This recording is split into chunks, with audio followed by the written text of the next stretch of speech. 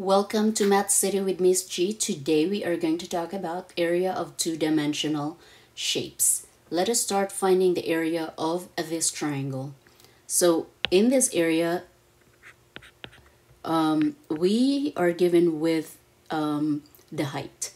How do I know it is the height? Because this um, part of the triangle uh, touches this part of the area of the triangle and creates a 90 degrees um, using the the box. The box will tell us that a 90 degree angle is created. Therefore, this is going to be considered the height while this one is going to be considered as the base.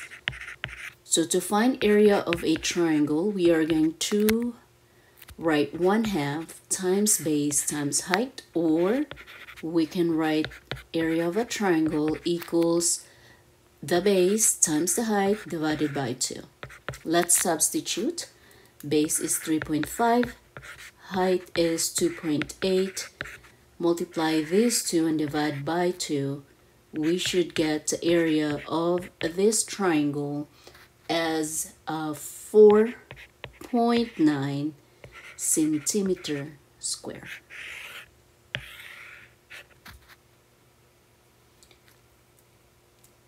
Let us try another figure, this time a parallelogram. What makes this figure a parallelogram? It is because we've got two pairs of um, sides that are parallel. This side is parallel to this side and they are equal at the same time. So this is 11.9 kilometers while this one measures the same thing as well, 11.9 kilometers. And this side of the figure is parallel to the side of the figure.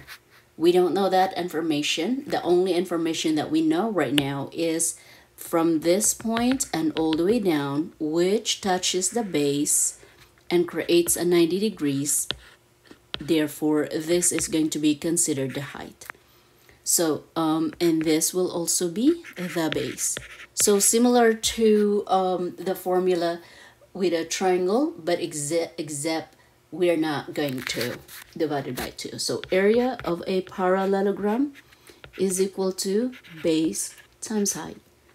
So let's substitute. We have 11.9 times 11.8 multiplying these two numbers that should give us around 140.42 kilometer square so this is the area of this parallelogram okay let's try another figure and it is, um, again a parallelogram. So this time the height is inside the figure. Okay, so um, it created this part of the um, figure, which is the dotted line, creates or touches the base at a 90 degree angle. Therefore, this is going to be considered a height while this is the base.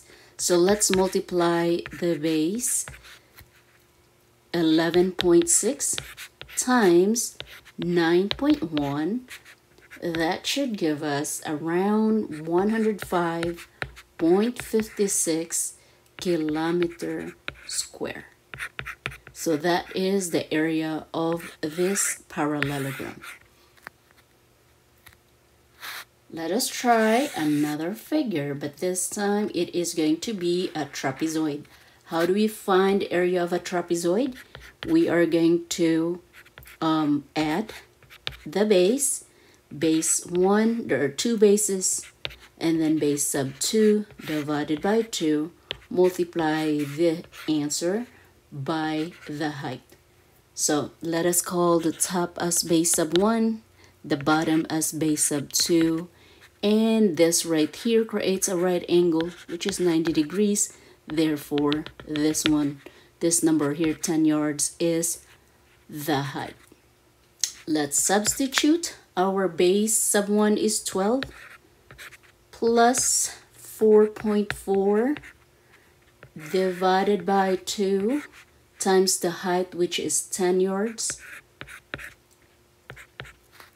So multiplying or adding 12 plus 4.4 and divided by 2 this will give us around 8.2 and then we multiply that with the height which is 10 uh, the area of the trapezoid is going to be 82 yard square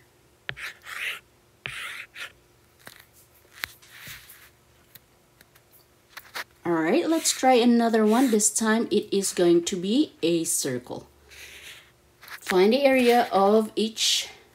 Use your calculator to use the pi. So we're going to substitute the value of pi for this. It is given in the direction.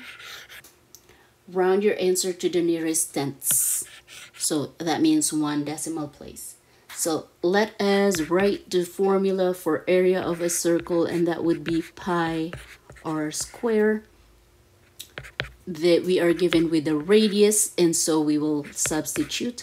Radius is 12 12 square is 144 pi and then we substitute the value of pi.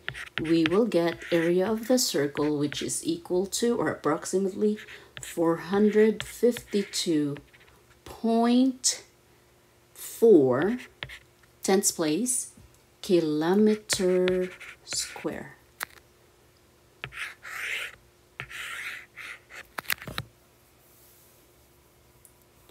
All right, let's try and answer one more problem about a circle.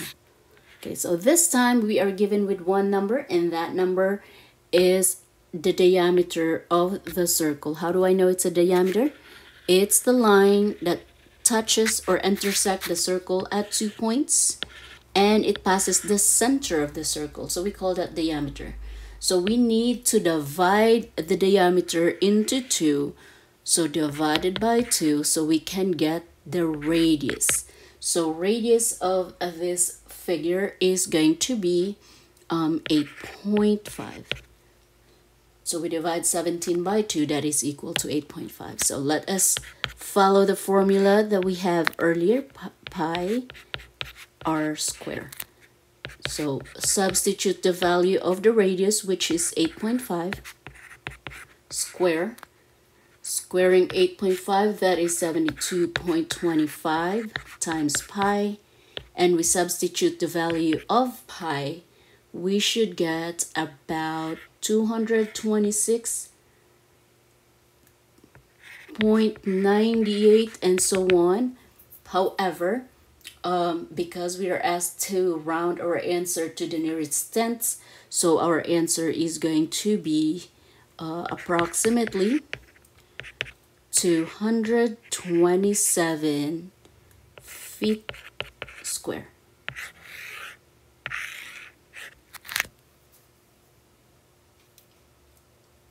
Okay.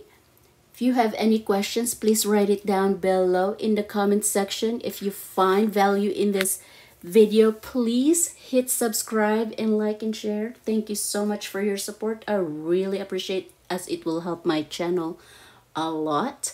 I will see you in my next one. Bye.